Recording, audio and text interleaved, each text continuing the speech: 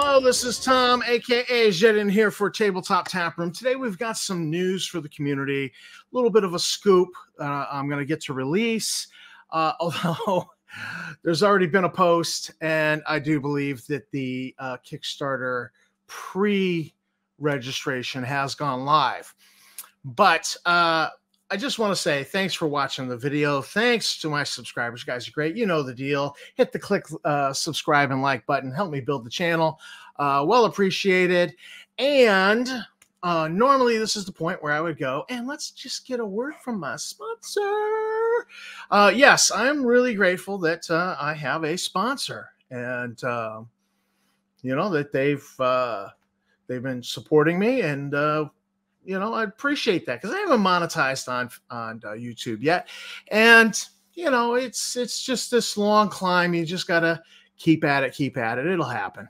Uh, I'm not worried about it, but I appreciated somebody saying, "Hey, we just thought it would be great if we, rather than spend money on advertising, that we just support somebody we like." And and so Glumer Games did that. They came alongside, and um, I had supported their Kickstarter and uh, they've they're just great guys. Uh, so I just have appreciated them, and I've interviewed them, had them on the channel a couple of times.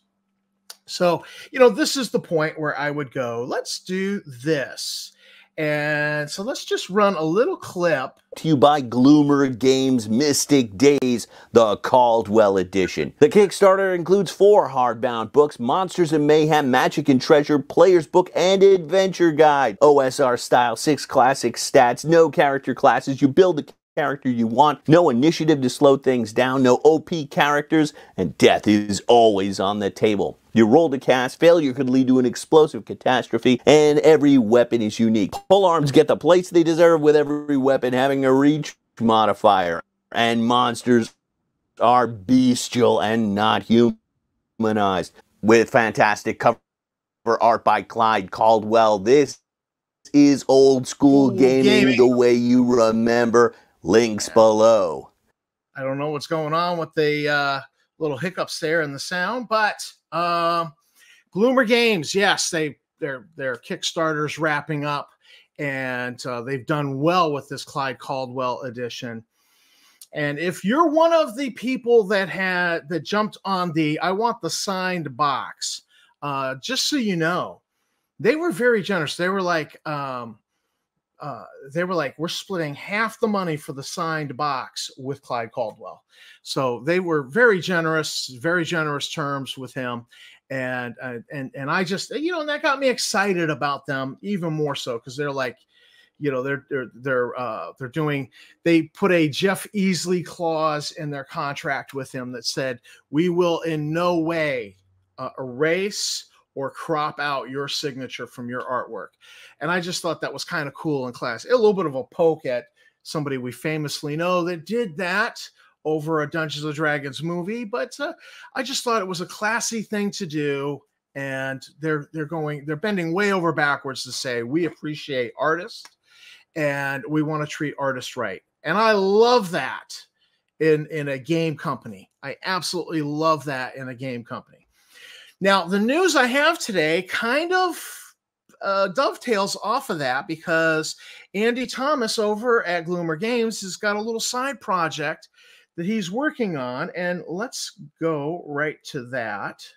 Uh, so, this is um, Mystic Days, um, the uh, Areth, uh, the Brutal Lands campaign setting and it is a Clyde Caldwell piece of artwork. Now, this is a special piece of Clyde Caldwell because here's the news. This is unpublished Clyde Caldwell artwork. Now, it was painted in the 70s, so it goes all the way back to the roots of our hobby. And um, it was actually painted as a cover for a novel. That novel was called Elak of Atlantis. I've seen the actual cover that was used for that novel. And let me tell you, whoever made that choice to not use Clyde Caldwell, you lost, buddy. okay, you lost. Uh, this is a fantastic uh, uh, piece of art. Never been published by Clyde Caldwell, now going into print. Um, so it's so let me let me tell you about this this piece of art. It is one of two uh, paintings that Clyde Caldwell did on Masonite. And I, I found that really funny because uh, I've actually painted on Masonite. Uh, I had an art commission several years ago, and actually, the individual that uh, commissioned me to paint that uh, piece of art um, just friend requested me on Facebook. It turns out he's now living in Florida. So, you know, shout out to Kev. Hey, buddy. Um, so yeah, uh, I've actually painted on Masonite, and I, I, I was like, oh, that's so cool. He painted on Masonite. Um, because you know you've, you've got the slick side and then you got the rough side you can use the rough side the paint it, it adheres to it nice uh, so and it was one of his biggest that he ever painted uh, he no longer owns the original but i guess he owns the rights to the image to be able to license it because he actually did license it to be used uh, but that uh, person that licensed it never actually published it, is my understanding. So this is an unpublished Clyde Caldwell art. Um, the subject here is uh, is his friend, um, and it's from a, a that his friend was visiting, and I guess they did a photo shoot, and this was a pose this guy struck, and and and and again, you know this is the 70s. Let's let's zoom in a little bit here. Look at that mustache on that barbarian. it says 70s. if nothing else, the mustache says 70s clearly. Um, and one other piece of uh, trivia here is that Clyde believes that this is quite possibly the first dragon he ever he ever painted. And so that's cool. So here we are. Uh, this is a piece of artwork from the very infancy of our hobby from the 70s. And one of the veteran artists uh, made famous through TSR Inc. back in the day, uh, Clyde Caldwell, who certainly um, well known to many of us of a certain age. He colored our imagination uh, covers for modules and covers for Dragon magazines. And here is the very infancy of the very beginning of the hobby, one of his first dragons he ever painted. He believes this is, is quite possibly the first one he ever painted.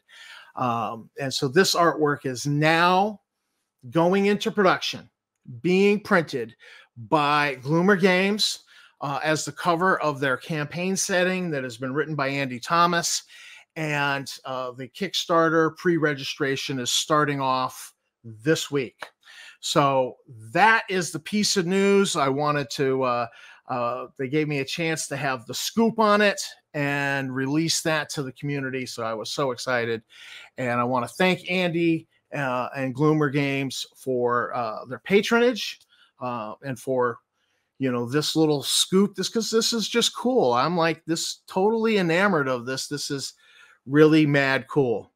So uh, this is tom for tabletop tap room signing out with a gorgeous piece of art. And uh, thanks for watching. Keep on gaming. Check out the uh, the links in the show notes and check out the campaign setting. This is probably a kickstarter you might want to jump in on